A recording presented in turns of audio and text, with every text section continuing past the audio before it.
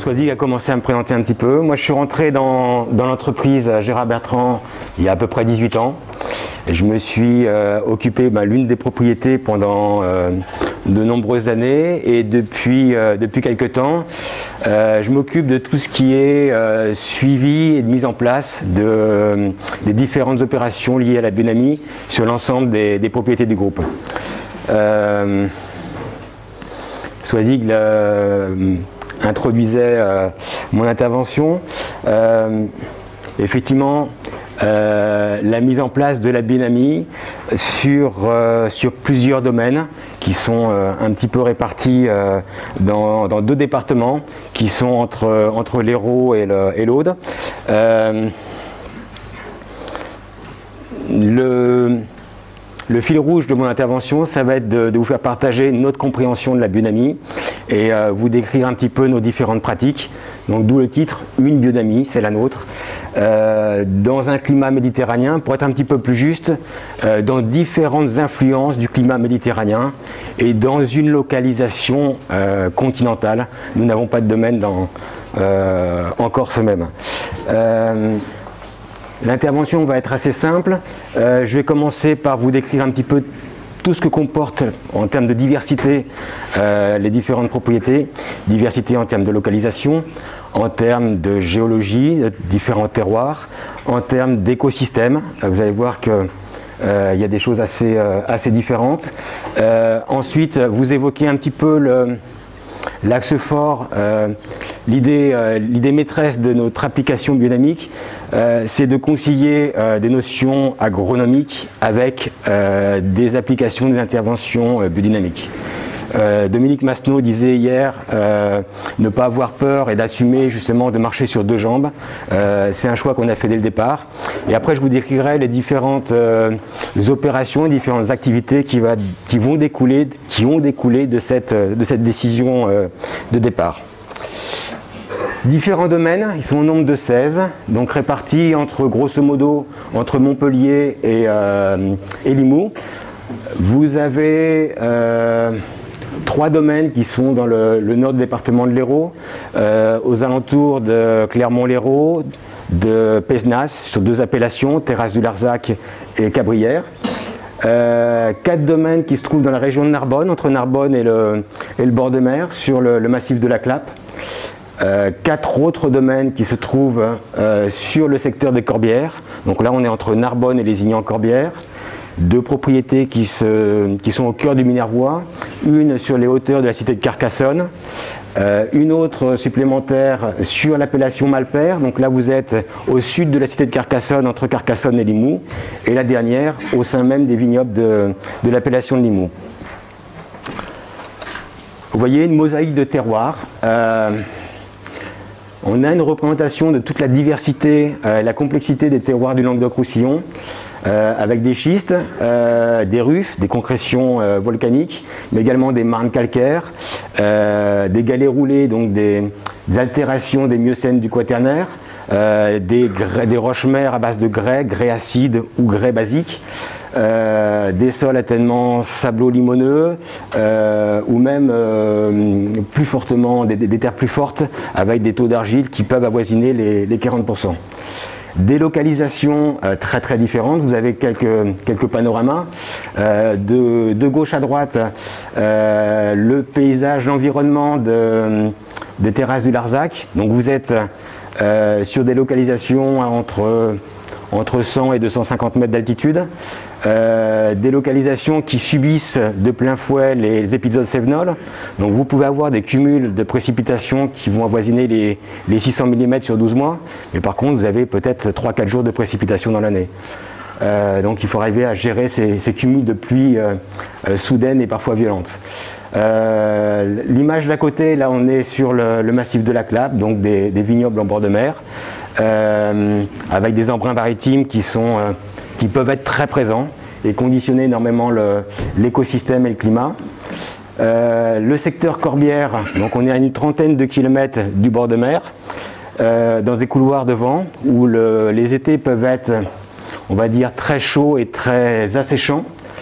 Et l'image de droite, on est sur la parcelle L'Aigle Royal, donc des, parcelles qui peuvent faire face aux chaînes pyrénéennes, des altitudes qui peuvent atteindre des 400-450 mètres, où là on est euh, au point de jointure entre les influences méditerranéennes et les influences océaniques. Donc là, des cumuls de pluie qui peuvent être supérieurs et surtout des, jours de précipitation qui sont euh, bien supérieurs euh, aux situations précédemment décrites. Euh, diversité au niveau, de l'encépagement, 26 euh, cépages différents, 12 euh, appellations différentes et une diversité de gamme qui, va du vin blanc, du vin rosé et au vin rouge. La biodynamie dans tout ça, ben pour nous elle a commencé en 2002 sur une parcelle de Merlot sur euh, notre appellation, sur notre domaine qui est en appellation fin de pays. Euh, on a commencé très modestement, euh, personnellement un petit peu seul dans mon coin, suivant quelques formations et puis essayant avec plein de bonne volonté et beaucoup d'amateurisme de le mettre en place au début. Et on s'est vite rendu compte que si on voulait progresser et, gagner en pertinence, il nous fallait être accompagné. Donc on a eu la, chance d'être accompagné par un consultant extérieur, en la personne de Jacques Mel, qui euh, est venu pendant 12 ans, à raison de deux jours par mois, euh, pour faire avec nous le, tour des, le, tour des, vignes, les vignes, nous aidant à, progresser dans le changement de regard sur le sol et sur la plante, changer aussi euh, notre conception de, notre métier et, les applications, la, mise en pratique des, principes biodynamiques au sein de ce premier domaine. Il nous a fallu 5 ans pour engager l'ensemble des parcelles et 5 années supplémentaires pour euh, essayer d'esquisser euh, quelques modestes certitudes, euh, convictions on va dire. Et on est sur cette, durée de 10 ans qui a été énoncée par, un, intervenant précédent hier. ça a été pour nous la durée d'apprentissage. 2012, euh, on décide d'engager une autre propriété et depuis cette année-là, euh, année après année, on a engagé euh, progressivement l'ensemble des propriétés du groupe pour arriver à l'ensemble des propriétés cette année. Le matériel, bah, le matériel, c'est assez simple. Pour nous, c'est une gestion de, on va dire, d'îlots parcellaires de 35 hectares. Pour 35 hectares, c'est deux dynamiseurs et un canon. Euh, on doit avoir un parc de à peu près 40 dynamiseurs, pour la très grande majorité dynamiseurs en bois. L'image en bas à droite ne reflète pas vraiment la réalité. On a pour les, les 4 cinquièmes des dynamiseurs en bois et le reste des, dynamiseurs en cuivre. Pour les canons, euh, on, a fait, euh, on, a fait, un travail avec un, fabricant de, matériel de pulvérisation local sur, sur les en corbière où on a, mis au point ensemble un, canon qui correspondait à nos besoins, c'est-à-dire avec deux systèmes de pulvérisation, non retour en cuve, de façon à, être euh, le plus pertinent possible dans l'application des préparations. Donc on a ces deux systèmes, donc système de grosses gouttelettes par euh, euh, système d'essuie-glace pour les compostes de bouse et pour les bouses de corne, et système de gouttelettes beaucoup plus fines sur l'image en haut à droite, euh, par des systèmes de, ventilation qui nous permettent de traiter des bandes de 24 ou 25 mètres de large, ce qui nous permet d'intervenir tous les 12 rangs quand on est planté en 2 mètres et tous les 9 rangs quand on est planté en 2 mètres 50. Donc ce qui nous permet d'intervenir très rapidement des surfaces assez importantes, mais d'être pertinent sur les influences planétaires et sur les, horaires, euh, horaires adéquats dans la, journée. Euh, en termes, il y avait des prix hier. Euh, à titre indicatif, on doit être sur des 3500 euros pour un dynamiseur et à peu près 10 000 euros pour un canon. Donc, ce qui fait un investissement de départ de, 17 000 euros pour un, ensemble parcellaire de, de 35 hectares. Je parlais tout à l'heure euh, d'association en euh, notions agronomiques et notions euh, biodynamiques. notre souhait, c'est d'avoir une gestion à la parcelle. Malgré cette diversité de domaines, on doit avoir un peu plus de 900 parcelles différentes, ce qui ne nous empêche pas d'avoir une gestion parcellaire sur toutes les recommandations agronomiques. vous avez quelques images de fausses pédologiques. Là, c'est des sols sabot-limoneux dans le, secteur des Corbières. Et l'image d'à côté, c'est les, les marnes calcaires sur le massif de la Clappe on, est amené à faire des analyses de sol régulières sur l'ensemble des parcelles. Donc on a, un système qui, euh, nous fait prélever euh, chaque parcelle tous les 5 ans. Pourquoi 5 ans? 5 ans, c'est la durée qui nous permet d'évaluer l'évolution de la matière organique. Euh, et à chaque fois qu'on va prélever, on fait une analyse de sol sur une parcelle, on va y associer une analyse spécialaire au stade bouton floraux séparé, ce qui va nous permettre d'apprécier euh, premièrement les éléments nutritifs présents dans le, sol, mais également les éléments absorbés par la plante. Et euh, on va mettre ces deux analyses en parallèle, en perspective avec le dernier contrôle maturité de la, parcelle en question. Euh, et avec ces différents éléments-là, ça va nous aider à définir une méthode de fertilisation sur, cette dite parcelle. Nous avons 13 euh, itinéraires techniques de fertilisation différents en fonction de, ces différentes caractéristiques techniques euh, et de plus en plus d'itinéraires faisant, faisant, appel à des engrais verts et à des fumiers ou des composts. J'y reviendrai un peu plus tard. L'idée dans cette notion agronomique, c'est de voir la qualité produit, donc voir le, dans quelle, quelle a été la destination du vin issu des raisins de cette parcelle, voir s'il est rentré dans le premier vin, dans le deuxième vin euh, ou dans le troisième vin. Euh, de voir euh, la quantité de récolte qui a été, qui a été produite l'année précédente et d'en définir des objectifs pour l'année suivante.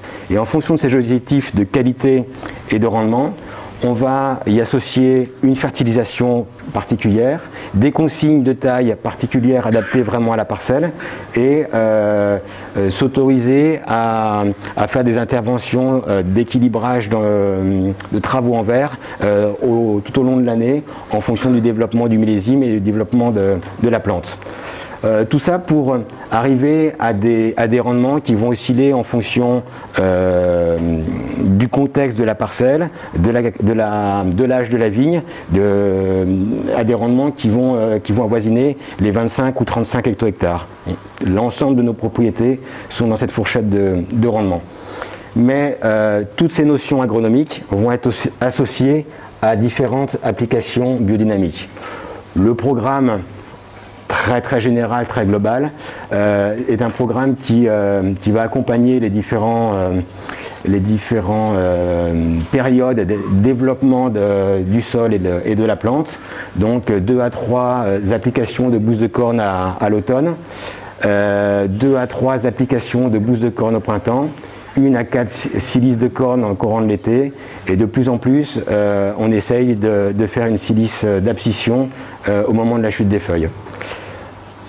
Les variables vont dépendre en fait du développement du sol et de la plante de la parcelle l'année précédente et les conditions du millésime.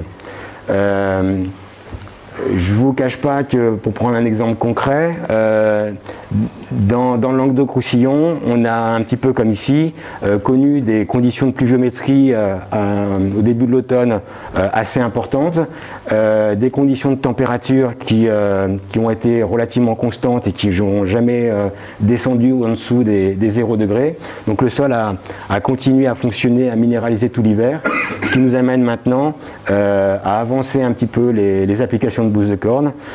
Euh, pour, euh, pour donner un exemple, on avoir euh, cet après-midi sept propriétés qui vont appliquer des bousses de corne en prévision justement de, de ce fonctionnement à plein des sols à l'heure actuelle. Les silices de corne, on essaye dans la mesure du possible d'appliquer une silice avant la floraison.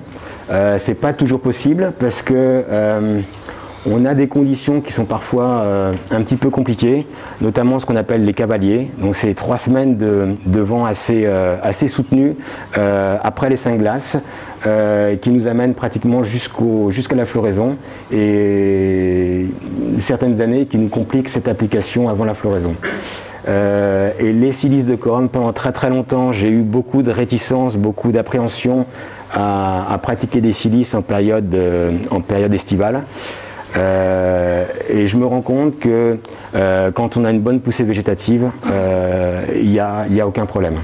Et on a encore fait la, démonstration l'année dernière sur, euh, sur deux propriétés où on a été amené à faire des silices à des températures euh, avoisinant les 35-37 degrés et on n'a eu aucun, euh, aucun blocage ou, ou symptômes défavorables. La, silice d'abscission à l'automne, euh, vraiment très intéressante pour accompagner la chute des feuilles, pour accentuer ces phénomènes d'aoutement au, niveau des, au niveau des serments, euh, avec des impacts très intéressants euh, et très visibles jusque dans le, geste de la taille au niveau de la, coupe des discernements. Le compostage, c'est quelque chose qui est pour nous de plus en plus important. On s'était essayé il y a une douzaine d'années euh, à mettre en place ce compostage. On était parti euh, la fleur au fusil à faire des composts très très longs.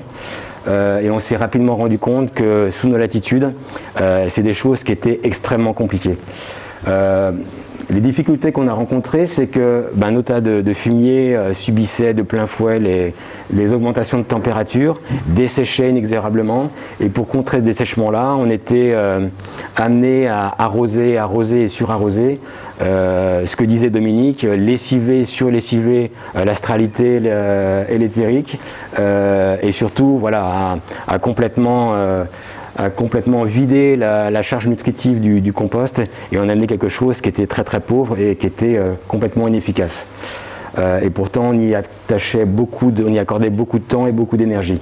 Alors, on a fait à peu près les mêmes analyses, les mêmes expérimentations que, celles montrées par Dominique euh, hier. On a essayé de définir les différents stades, euh, les différents euh, types de compost et quelles étaient les périodes qui nous est passé de l'un à l'autre. Qu'est-ce qu'un compost jeune? Qu'est-ce qu'un compost mûr ou un compost jeune ou compost nerveux? Est-ce que c'est trois semaines? Bien sûr. Là, c'est mieux.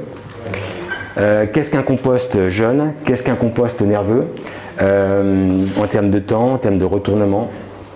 Donc on a, fait différentes expérimentations euh, confirmées par des cristallisations sensibles et on est arrivé, il n'y a pas trop de surprises, à peu près aux mêmes conclusions que, que celles exposées par Dominique.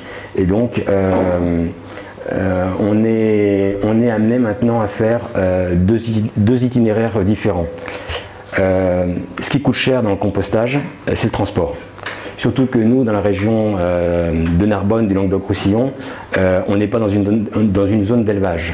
La zone la plus proche est, est dans le département d'à côté, donc à 150-200 km, donc en Ariège. Et euh, ce que l'on a mis en place, c'est des aires de compostage au plus proche de nos parcelles. Donc actuellement, nous avons six aires différentes sur nos principaux, euh, domaines. Et on utilise, donc on, fait livrer le fumier frais euh, par des camions de, 10 tonnes ou 25 tonnes en fonction de, l'accès à cette aire de compostage. On reprend ces, tas de, fumier frais avec des, tractopelles pour les mettre en andin. Et on va travailler ces andins avec, un reteneur d'andin comme, euh, comme, montré sur la photo, euh, qui va émietter les parties les, plus pailleuses, homogénéiser, et juste après ce passage de, de retour d'andin, on va mettre en place les préparations, on va le bâcher avec des bâches microporeuses, on va surveiller les températures, on va surveiller la décomposition des pailles, donc de, de la cellulose au niveau des pailles, on va le retourner au bout de trois semaines, un mois, et on va les pendre euh, trois semaines ou un mois après en fonction de cette évolution. Donc ça c'est le premier itinéraire, donc compost euh, destination de, la stimulation de la vie microbienne de nos sols. Donc très intéressant sur notamment euh, sableau, limoneux ou limoneux. Mais on a un deuxième itinéraire technique sur des terres beaucoup plus fortes, beaucoup plus argileuses, et là on va chercher à avoir des composts beaucoup plus mûrs. Et dans ce cas-là, on, va, on va éviter d'amener notre fumier frais dans nos latitudes très très méridionales. Et donc on a défini un partenariat, on a mis en place un partenariat avec une entreprise d'élaboration de compost au cœur même de l'Ariège, au plus près des étables, des élevages, où euh, eux vont s'occuper euh, du sourcing, vont s'occuper de la mise en andin, et nous on intervient le jour de la mise en andin pour incorporer les préparations. Pour vous donner un ordre d'idée, cette année, 1000 tonnes de fumier frais pour l'ensemble de nos propriétés. L'élaboration des préparations. Vous imaginez bien qu'avec 16 euh, domaines, on a des besoins qui sont très importants très rapidement, euh, que ce soit Gauthier, que ce soit Vincent, que ce soit Cédric, nous ont dit il va falloir que vous y mettiez très rapidement parce qu'on ne pourra pas fournir. Et donc euh, on l'a fait euh, très timidement, très petitement au départ. On a commencé par 100 cornes de vache. et de fil en aiguille, on a augmenté en fonction de nos besoins. Je ne vous cache pas qu'au début j'étais un peu seul pour faire tout ça. J'avais du mal à trouver de, de l'aide et d'assistance. Euh, mais les choses sont en train d'évoluer. Euh, année après année, à force de solliciter les équipes, ben, on s'est rendu compte que les gens avaient de moins en moins de réticence, les gens étaient de plus en plus volontaires. Euh, pour vous donner un ordre d'idée, à la fin des vendanges, donc comme chaque année, j'ai sollicité l'ensemble des régisseurs et il me fallait deux équipes, donc c'est sur deux jours, il me fallait deux équipes de 12 personnes. Et au final, on s'est retrouvé à deux équipes de 30 personnes. Donc en termes de gestion du travail, on s'est marché un peu sur les pieds. Euh, mais par contre, ça a été une formidable, des formidables journées de rencontres, d'échanges, de fraternité. Ça s'est fait de, manière euh, très naturelle. Il n'y a eu aucune. Euh, euh, les, gens ont pris, euh, ont pris place au niveau, des, au niveau des poussoirs à viande. La photo est, incomplète, on a trois poussoirs à viande. les choses sont faites naturellement, il n'y a pas eu besoin d'actes d'autorité, de, direction et compagnie. Les choses ont coulé toutes seules. Le travail s'est fait pratiquement tout seul. Et, et je crois que l'élaboration des préparations est un formidable, pour dire l'approche essentielle pour comprendre réellement euh, l'efficacité, l'importance et la, subtilité, euh, la richesse de la biodynamie. Une fois qu'on a participé à l'élaboration d'une préparation, je pense qu'on vit la relation à la préparation de manière totalement différente. Donc euh, cette année, on a été amené à enterrer l'équivalent de 7000 ou 7500 cornes de vaches, ce qui paraît important, mais ça correspond à nos besoins.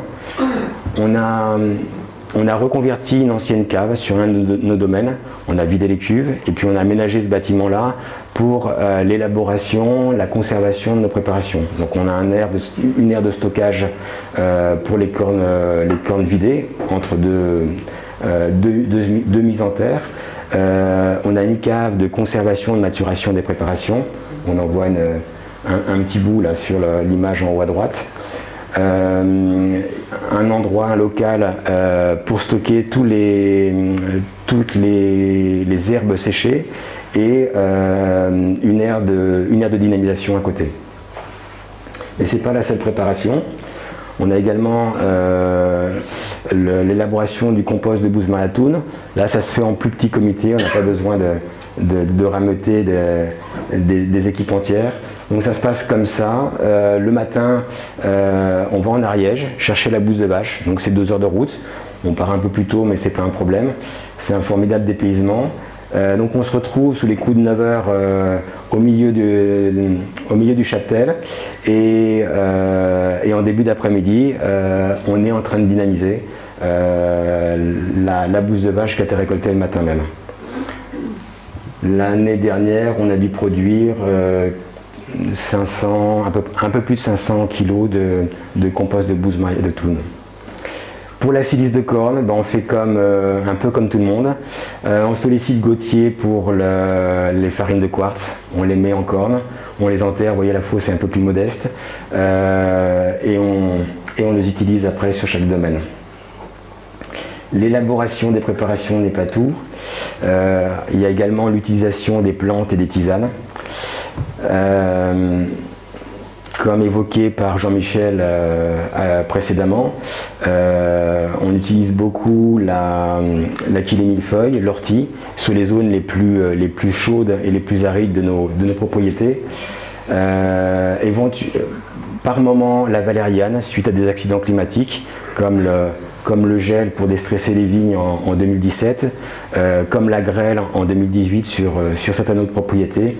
Donc formidable, euh, cicatrisant et déstressant, mais, mais également beaucoup l'écorce de chêne dans, nos, dans notre atmosphère beaucoup plus humide, donc subissant les emprunts maritimes, mais dans nos, nos, domaines les plus les plus sujets aux influences océaniques donc ce qui permet de, renforcer les, parties herbacées, mais également euh, de consolider et de renforcer la pellicule des raisins. L'enherbement, ça c'est quelque chose qu'on a mis en place depuis deux ans. Euh, l'année dernière, 150 hectares. Euh, c'est quelque chose de très très intéressant à, de multiples, sur de multiples facteurs. comme décrit par Dominique hier, donc des, mélanges à base de céréales et de, légumineuses. Donc euh, différents mélanges euh, en fonction des conditions des, parcelles, donc euh, avec des contraintes hydriques plus ou moins importantes, donc en fonction du, climat océanique ou, méditerranéen. on a trois mélanges différents à l'heure actuelle et, on l'enfouit on l'enfouit en début de printemps euh, pour stimuler la, vie du sol. La présence animale, ça c'est quelque chose de, très important pour nous. Je vous parlais de 16 propriétés, il y a trois propriétés avec euh, l'intervention d'une mule et, de son muletier. Donc je vous fais les présentations de gauche à droite. Vous avez Casimir à gauche, le domaine de la Soujole, avec son muletier qui s'appelle Nicolas. Vous avez un autre Nicolas avec Victorieux sur le domaine du Clodora. Et vous avez Banzai sur le, sur le Clos du Temple avec Jérôme. Euh, l'intervention des mules nous permet d'avoir un autre travail du sol, euh, de réduire considérablement les interventions de tracteurs. Donc en termes de tassement du sol, c'est des, choses qui sont euh, très appréciables et très significatives. Et, on voit que au fil des interventions en traction animale, le sol évolue complètement différemment. C'est des choses très très intéressantes à observer. Le pastoralisme, c'est des choses qu'on a mis en place euh, dans les années 2014-2015. Euh, le premier domaine a été le domaine de l'hospitalet, donc c'est notre plus grand domaine en termes de surface agricole. Il y a une centaine d'hectares, mais auquel euh, est associé 900 hectares de garrigues. Donc on a un écosystème qui est, très intéressant. 250 têtes, qui, euh, qui circulent, qui euh, a des itinéraires de, de, pastoralisme, je vais y arriver, entre, entre les vignobles et les, et les garrigues. Domaine de l'Aigle, les deux photos en, bas à gauche, avec un, un châtel à peu iguane. c'est un voisin, donc avec des vaches et des, moutons. Donc c'est assez, euh, original. Euh, on est très très content d'avoir euh, le passage de, ces bêtes, même si ça engendre quelques remplacements de piquets de tête, comme vous pouvez le comprendre. mais bon, c'est pas grand chose. et, le, fait, et le fait très très intéressant, c'est sur le domaine des corbières. Donc on a, on a quatre domaines sur le, secteur des corbières. Depuis, depuis décembre de l'année dernière, on a fait venir 950 euh, têtes de moutons euh, qui ont passé tout l'hiver euh, à circuler sur ces, quatre domaines. Donc c'est pour nous 250 hectares. Donc c'est significatif. On a eu un, hiver très très humide, donc la flore spontanée s'est développée de manière, de manière très intéressante. Euh, en temps normal, on aurait eu l'angoisse de nos régisseurs, de nos responsables vignobles, euh, en nous disant on va se faire dépasser au printemps euh, pour gérer l'herbe, il va falloir tondre très très rapidement. Les gens sont restés étonnamment calmes. les brebis ont tout géré. avec des, choses inattendues qu'on n'avait pas du tout imaginées au départ. Euh, à côté de ces quatre domaines, euh, on a toute une zone qui a subi de plein fouet les stress hydriques des années 2014, 2015, 2016, qui a entraîné sur ces parcelles de vignes des remontées de sel très importantes. On avait pendant plusieurs années consécutives des, des raisins salés. Ce n'était pas des pulvérisations d'eau de mer comme décrit hier, mais vraiment des remontées de sel impressionnantes qui a entraîné sur bon nombre de parcelles la mortalité de, de l'ensemble de la parcelle. Du moins, les, les, les, vignes étaient tellement en souffrance que les différents propriétaires se sont résignés à les arracher. Donc ces, terres, depuis 4-5 ans, sont devenues euh, un culte, commençaient à se refermer un petit peu. Et pendant les, périodes euh, les plus humides de, cet hiver, eh ben le chaptel est resté euh, sédentarisé d'ouvrir davantage ces zones, ce qui a été très très bien, mais ce qui a permis aussi de pas trop trop impacter, de pas trop tasser nos sols qui étaient en zone, on va dire, plus sensible mais, euh, euh, d'autres choses aussi très intéressantes. C'est-à-dire que les, personnes les plus âgées des villages environnants avaient connu ce pastoralisme il y a, quelques décennies euh, et ont été très très contents de, revivre des, souvenirs passés, parfois même oubliés. il y a eu tout un, un effet médiatique local. Euh, on a même été contacté par plusieurs euh, écoles primaires pour faire des journées de, présentation, d'échanges, de rencontres entre le berger et, des jeunes élèves. Et ça, ça a été porté par la personne que vous avez en bas à gauche, qui est un de nos régisseurs, euh, qui était c'était pour lui quelque chose d'essentiel. Et donc il a porté le projet du départ jusqu'à sa réalisation. Donc ça c'est aussi un élément très intéressant pour nous. Je vais le détailler juste après ce projet humain, ce projet d'équipe, euh, il est essentiel pour nous. Euh, il ne pourrait pas y avoir toute la mise en place de cette si on n'avait pas derrière euh, des hommes très très motivés pour le, pour le mettre en route. quand on dit équipe, l'ensemble des vignobles, c'est 85 personnes. c'est une quinzaine de régisseurs, c'est une dizaine de chefs de culture, pour les deux tiers restants, ce sont des tractoristes. Et, euh, pour le dernier tiers, euh, ce sont des, vignerons tâcherons. La question de départ, c'est comment euh, amener ces personnes, ces différentes personnes, à rentrer dans une démarche nouvelle, qui est quelque part une démarche personnelle et qui n'est pas forcément leur démarche première au départ. Bah, ça passe par toute une méthode, méthode entre guillemets, tout un cheminement, on va dire. Euh, le premier cheminement, bah, c'est l'explication. Le deuxième, c'est une mise en œuvre. Troisième, c'est constatation des effets. Euh, après, ça suscite euh, une interrogation et quand on commence à rentrer dans cette interrogation, on est à même de pouvoir changer son référentiel et évoluer vers quelque chose de nouveau. Pour nos régisseurs, eh ben, c'est compliqué hein, pour nos nouveaux responsables vignobles qui rentrent dans une équipe qui a avancé depuis, euh, depuis quelques années. Euh, on suit toujours le même chemin. Euh, la, première des, rencontres, ben c'est de, les inviter à passer deux jours à ces congrès organisés par le MABD, où pendant deux jours, eh ben, ils vont entendre des intervenants, ils vont entendre des témoignages, ils vont discuter avec des gens qui sont un petit peu plus avancés qu'eux, euh, qui ont les mêmes questionnements qu'eux, donc ça va à la fois les interpeller, les rassurer.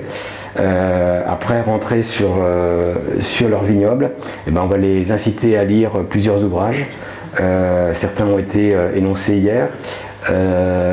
François Boucher, très intéressant, très didactique. Nicolas Joly, également très intéressant, ces deux ouvrages complémentaires. Certains ouvrages Mariatoun, pour commencer la mise en pratique, les choses comme ça, c'est assez concret. Euh, et après, c'est un accompagnement, un accompagnement individuel euh, au sein de leur vignoble pour ben, les accompagner à la première dynamisation, première application, après les accompagner à observer les effets de ce qu'ils viennent de mettre en œuvre. Et, euh, et cet accompagnement se prolonge euh, au sein des différentes réunions de régisseurs. Il y a une réunion euh, de l'ensemble des régisseurs de nos vignobles tous les mois sur le domaine de l'hospitalet. Donc pendant une demi-journée, on évoque les différents points techniques de l'actualité et à chaque fois, il y, a, il y, a, un moment, il y a un bon moment autour de la biodynamie. euh, sur l'actualité de la biodynamie, mais également un focus particulier sur euh, l'action, l'application de telles préparations, sur les incidences de l'influence des différents calendriers planétaires, sur la réalisation de telles, de tisanes, sur le compostage. Voilà, les thématiques évoluent avec le temps. Euh, et le dernier, la dernière rencontre qui nous semble très très importante, c'est de faire venir, intervenir un, formateur extérieur, euh, à peu près tous les deux ans. Donc on a eu une, rencontre très enrichissante avec, euh, avec Jean-Michel il y a 2-3 ans, qui nous a sensibilisés à l'approche GTN. Euh, les gens sont sortis euh, emballés et, très intéressés. Le mois dernier, euh, Dominique Masneau est, intervenu auprès de l'ensemble de nos équipes pour nous démontrer l'importance de cette dualité entre l'agronomie et, la biodynamie. ça ne sera probablement pas le dernier à intervenir au sein de nos équipes. Euh, ce qui est important dans cette démarche-là, c'est que nos responsables vignobles ne vivent pas, ne perçoivent pas la biodynamie uniquement par, euh, par le prisme de ma compréhension et de mon explication. C'est qu'ils puissent bénéficier de, différentes sensibilités, de différentes visions et, s'enrichir de cette pluralité qu'est le monde de la biodynamie. Donc ça, c'était pour nos responsables vignobles. Mais pour que la biodynamie euh, fonctionne, il faut arriver à fédérer et à sensibiliser l'ensemble de nos collaborateurs. Nos tractoristes, on, part sur une démarche beaucoup pragmatique. Euh, quand je dis pragmatique, euh, on va faire des réunions en début de journée, donc à l'embauche. je viens à leur rencontre sur les différents domaines et on passe une heure, montre en main, pour échanger autour de l'actualité de, la biodynamie. Donc il y a des rencontres à l'automne où on va réexpliquer l'importance, l'utilité, le fonctionnement du compost de Bouzmanatoun, les processus de mise en réserve, de mise en dormance du sol, euh, une autre intervention qui a lieu au printemps, donc c'est l'actualité du moment. Euh, on va expliquer euh, l'action, l'importance de la bouse de corne, de la stimulation de la vie microbienne, de, cet accompagnement de, la fertilisation qu'ils viennent de réaliser et, des, forces en présence pour le futur débourrement qui va, qui va s'extérioriser. je ne vous cache pas qu'au début, les interventions étaient très scolaires. Euh, il y en a un qui parlait et les autres euh, écoutaient religieusement.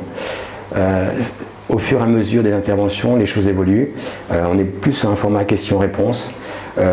même certains posent des questions et c'est son collègue d'à côté qui va répondre. Donc on, voit qu'il y, a un effet de groupe qui est en train de s'instaurer et qui est en train de, de se développer. Ça, c'est très intéressant. Un point, concret, cette année, j'ai été sollicité, assailli par des, des demandes de calendrier planétaire. Ça, ça m'était pas arrivé précédemment. C'est-à-dire que ce qu'ils mettent en place au quotidien euh, dans leur environnement de travail, eh ben, ils cherchent maintenant à l'appliquer euh, euh, chez eux sur, sur leur jardin potager quand ils en ont. Donc je risque de demander, de, demander d'autres calendriers planétaires. J'espère que tu as prévu un stock. Euh, et pour les tractoristes, il y, a, cette participation à l'élaboration des préparations. Donc euh, pour les deux tiers d'entre eux, c'est le remplissage des cornes de vache. Et pour le tiers restant, c'est euh, bah, déterrer ces cornes de vache après Pâques. L'expérimentation, ça c'est quelque chose d'essentiel pour nous. on a commencé à le mettre en place, on a commencé à réfléchir au mot expérimentation il y a une douzaine d'années. On avait été bien conseillé par, euh, par Georges. Euh, on commençait à partir comme tout le monde dans tous les sens. on était très ambitieux, plein d'énergie, on voulait tout expérimenter, on, avait multiplié les indicateurs et on allait partir dans quelque chose qu'on n'allait jamais finir. on s'est rendu compte que assez souvent on se posait mal la question de départ et qu'au bout de six mois, eh ben, on était incapable d'en déduire quelque chose parce qu'il y avait un billet à tous les étages. Euh, on a un peu progressé. On a une personne qui a, qui a rejoint nos équipes, Bastien Gaillardon, là, depuis trois ans, et euh, qui a formalisé les choses et, qui structure bien nos, questionnements et, l'application de nos protocoles. Je vous disais que précédemment qu'on avait, euh, on s'était posé beaucoup de questions sur le compostage on continue. Euh, l'essai le plus important au sein de nos, propriétés, euh, c'est un essai autour du compostage, de voir comment, quelle influence peut avoir un compost jeune euh, sur la stimulation de la vie microbienne, sur l'équilibre des raisins et sur la nature même des vins. C'est une expérimentation avec quatre modalités sur une période de six ans, avec des indicateurs au niveau de la, de structuration du sol, de la vie microbienne, au niveau du développement végétatif, au niveau des, d'équilibre des raisins et au niveau des, des, vins finis.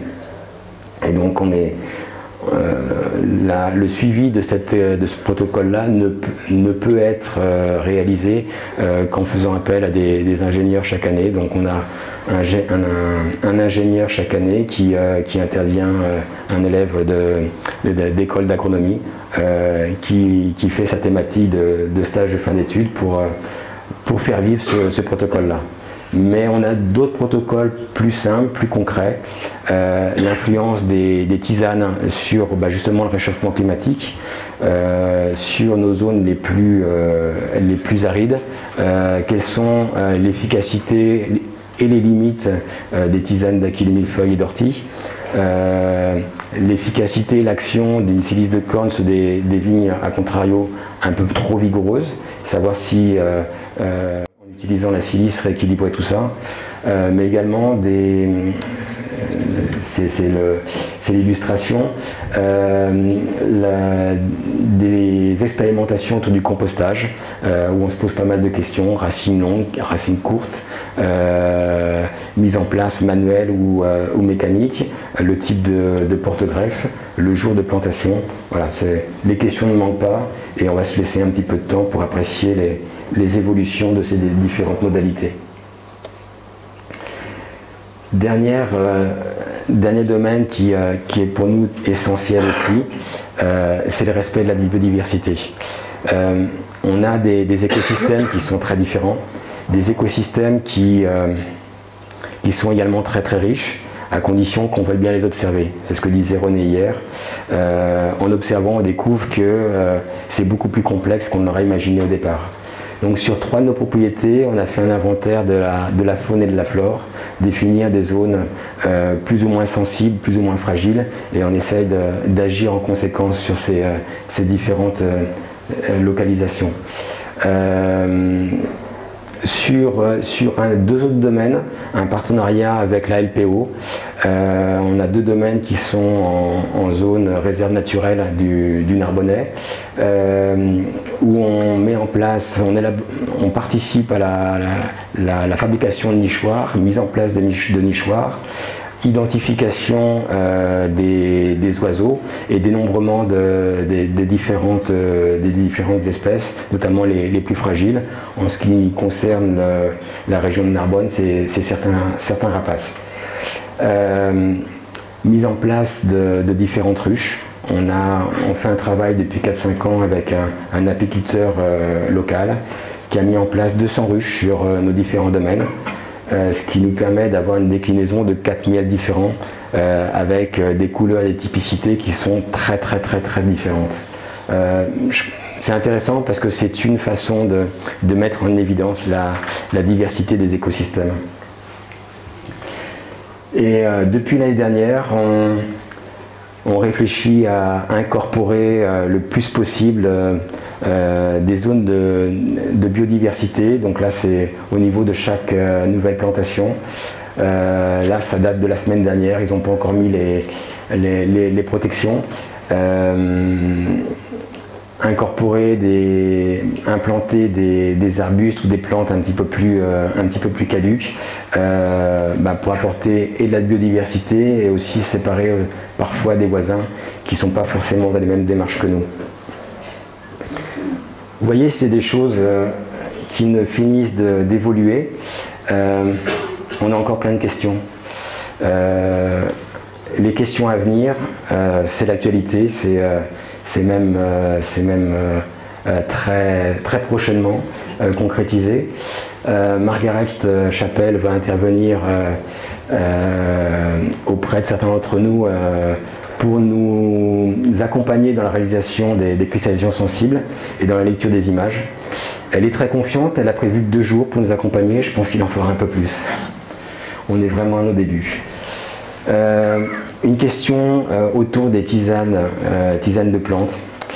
Euh, après discussion avec certains, notamment Jacques Fourès, qui nous,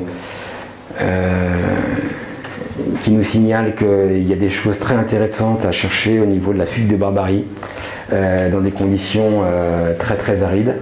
on va essayer de le mettre en place cette année. C'est assez drôle parce que on s'est rendu compte en, se posant en se posant bien la question que sur les cinq parcelles les plus arides de l'ensemble de nos propriétés, il y avait naturellement euh, cette plante-là qui était dans un rayon de 50 mètres.